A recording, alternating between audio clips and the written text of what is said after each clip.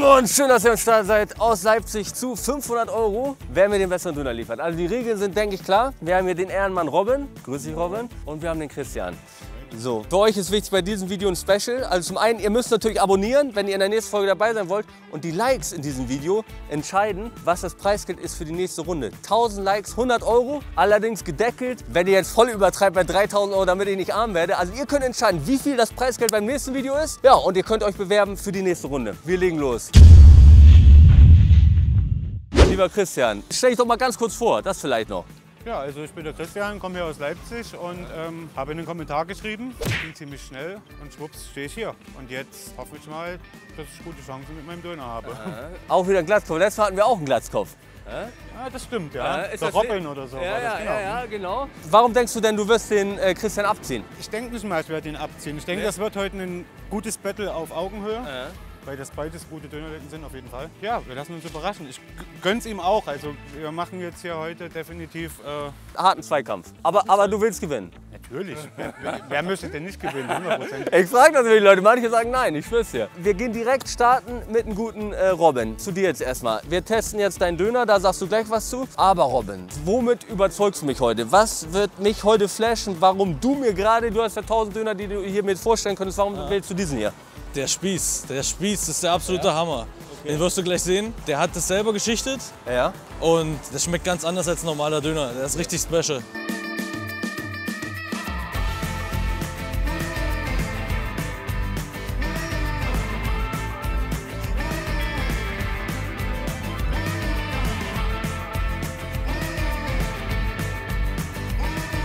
Salam alaikum. oh, guckt euch mal an. Ihr seht, wie das hier wabbelt, das Fleisch, ne? Das ist nicht gefroren. Wenn das so eine Doppelbefestigung hat, dann ist es gefroren. Er hat es mir noch mal genauer erklärt, das hat mit den Beförderungsmaßnahmen zu tun, blablabla. Aber der ist frisch geschichtet. Der fragt dich am Anfang, willst du den ähm, so Allmann-mäßig oder sag original? Kennst du dich aus oder kennst du dich nicht aus? Frage. Okay, okay. Nimm einfach original, das ist das Beste, was Original. Und die haben aber auch richtiges Fladenbrot, da haben die nur das. Die haben selbstgebackenes auch noch. Gut, dann, dann gehen wir direkt rein. Er winkt schon hier. Geil. Ja, dann gucken wir mal. Und die zwei Brillenschlangen werden heute auch abreißen, Mann. Sei ehrlich, wenn es an die Buletten rangeht, nimmst du die Brille ab oder lässt du auf? Ah, ich lass auf. Ich, echt, du lässt auf? Da muss man sehen. Da ist übrigens deine Freundin.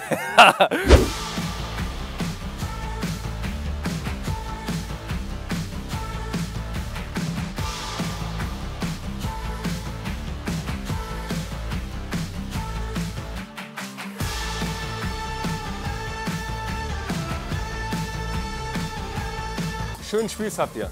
Sieht gut aus. Das soll der beste Döner der Stadt sein. Habe ich mir sagen. Sagt, sagt der mit der Brille da hinten. Ist so, ne?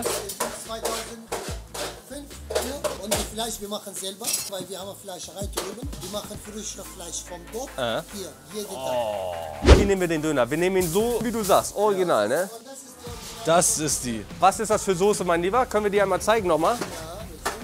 Macht ihr die. Ah, das ist ja schon eine Special-Soße, ne? Das ist schon special. Also, ich krieg heute einen Döner, wie ich ihn womöglich. Nee, wo ich hier noch nie gegessen habe. Also er schmeckt auch nicht, wie du ihn kennst. Ich glaube, das ist das, was hier kickt.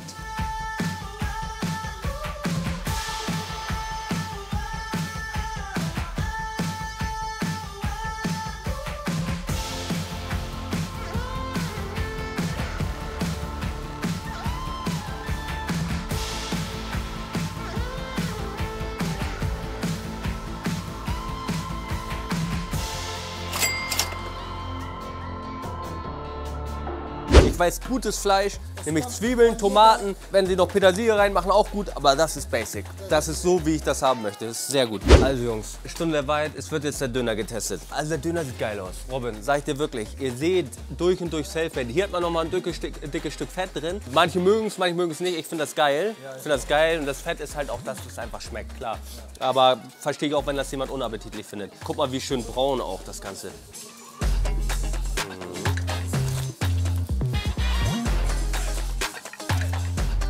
Erstmal sehr knusprig. Du merkst komplett dieses, ich sag mal, Toast-Feeling. Dankeschön, Dankeschön. Das ist schon mal optimal, on point.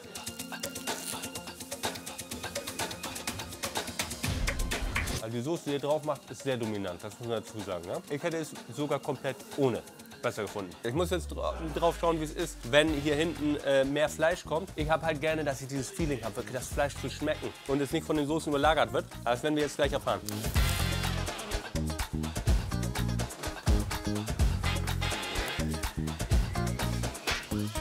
Was ich auch interessant bei dem Döner finde, Robin, der ist nicht gewürzt überladen. Er ist sehr dezent noch, wird Fokus drauf gelegt, dass man halt die Zutaten auch noch schmeckt. Schade, die Soße ein bisschen zu doll, aber zum Hintergrund geht, geht es auf jeden Fall klar. Also ich nehme sogar noch extra Soße. Um noch Nimm mal extra noch drauf. Voll mein Geschmack. Es wird weniger zum Schluss, da wo das Fleisch mehr wird, schmeckt man jetzt auch das Fleisch. Es ist dezent, es ist alles selber produziert. Der hat schon alles hier Hand und Fuß. Christian, was hast du hier? Ist halt eine komplett andere Erfahrung, wenn man es jetzt wirklich mit einem normalen Döner vergleicht. Ja, mit, einem- mit einem Standarddöner. Der ist lecker, aber halt anders. Ich finde ihn persönlich sehr lecker. Ja.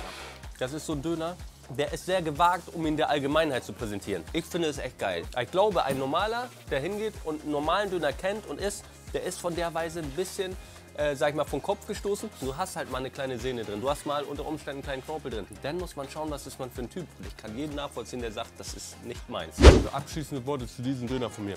Besonders special. Aber auf der anderen Seite auch sehr gewagt. Und das versuche ich jetzt einzuordnen, werde das sacken lassen und zum Schluss gibt es die Bewertung. Aber erstmal natürlich dein Döner jetzt.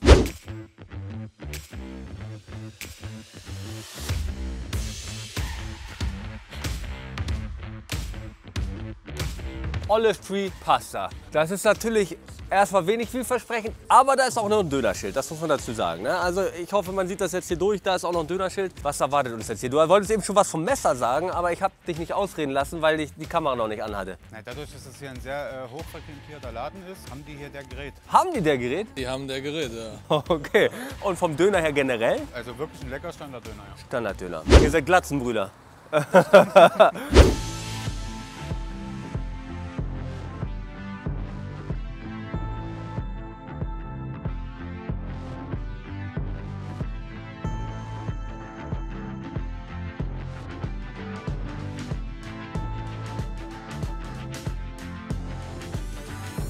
Du strahlst richtig. Gefällt mir. Digga.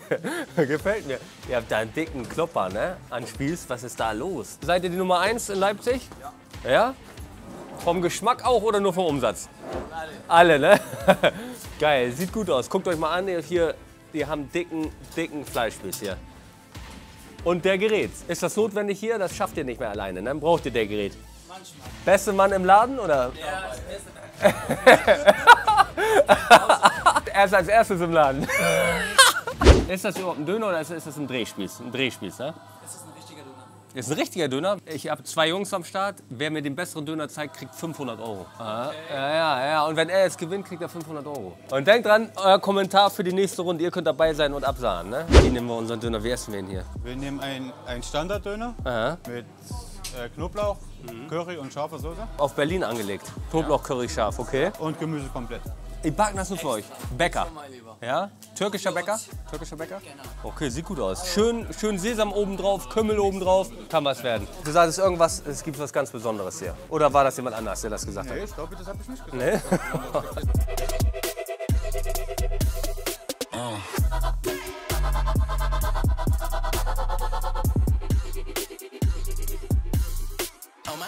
Robin, bist du jetzt ein bisschen eingeschüchtert bei dem Döner oder bist du immer noch siegessicher? Ein bisschen, aber äh, die Bräunung ist noch nicht ganz optimal. Ich glaube, das wird am Ende das wichtige Kriterium Also ich sag's dir, da, die heizen nicht richtig ein. Das kann der Gerät natürlich nicht so mit der Hand machen wie ein, wie, sag ich mal, ein Mitarbeiter mit einem Messer.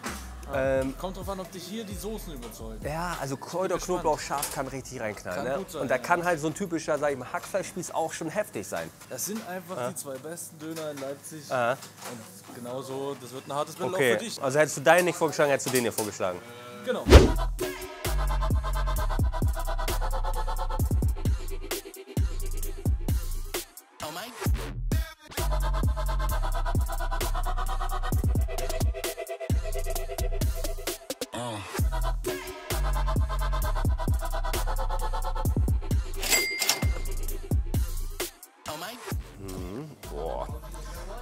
Schon gut aus, ja?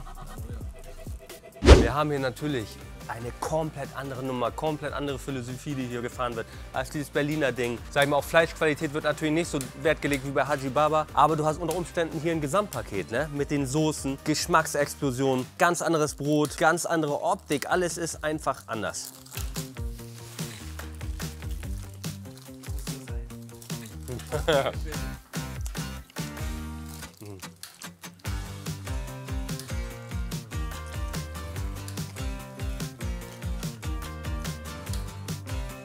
Was mich überrascht, nicht im negativen Sinne, aber schon viel Salat auch drin. Also gefühlt hatte ich gerade wirklich deutlich mehr Salat. Es war auch sehr im Fokus. Interessante Soßen aber. Interessante Soßen. Berliner Style.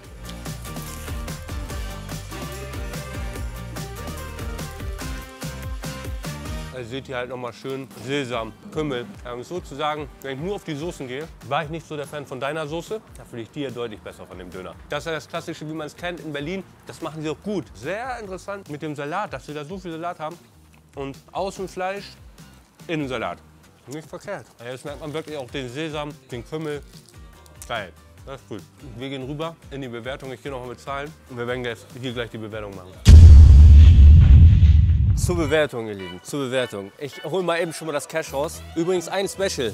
Solltet ihr echt voll eskalieren und die 30.000 Klicks voll machen und wir kommen auf das Maximalpreisgeld von 3.000 Euro in der nächsten Runde, ist die Regelung so, ab 30.000 kommt ein dritter Kandidat für das nächste Video mit dazu. Das auch für euch. Merkt euch das jetzt, das habe ich gesagt, ne, das müsst ihr euch merken. Hier haben wir die 500 Tacos.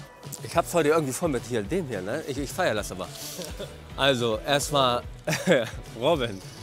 Dein Döner hatte Liebe, dein Döner hatte Leidenschaft. Die lieben, was sie machen, die haben eine Fleischerei dran. Das ist was anderes, das ist was Besonderes, aber trotzdem mit gewissen geschmacklichen Defiziten. Da habe ich schon bessere Selfmade-Döner gegessen. Die Soße hätte man für mich rauslassen können, war aber in Ordnung. Zum Schluss hat man sie kaum noch geschmeckt. Dein Döner, lieber Christian, war Standard sein Urgroßvater, das kann man nicht anders sagen. Die Soßen haben sie aber gut gemacht. Die Soßen haben sie gut gemacht, ob sie eingekauft waren oder nicht. Es war wirklich vernünftig. Fleisch war natürlich nichts bei dem Ding, aber da geht man nicht hin, wenn man leidenschaftlicher Fleischesser ist, sage ich mal jetzt trotzdem, geht man nicht zu dem Laden. Da möchte man das Gesamtergebnis. Dir, lieber Robin, gebe ich für deinen Döner 7,8 Punkte. Ohne so, ohne diese Soße hätte das besser ausgesehen und es ist wirklich für mich auch privaten Döner, den ich wirklich hier wahrscheinlich bevorzugen würde. Für dich, lieber Christian, gibt es an dieser Stelle 6 Punkte.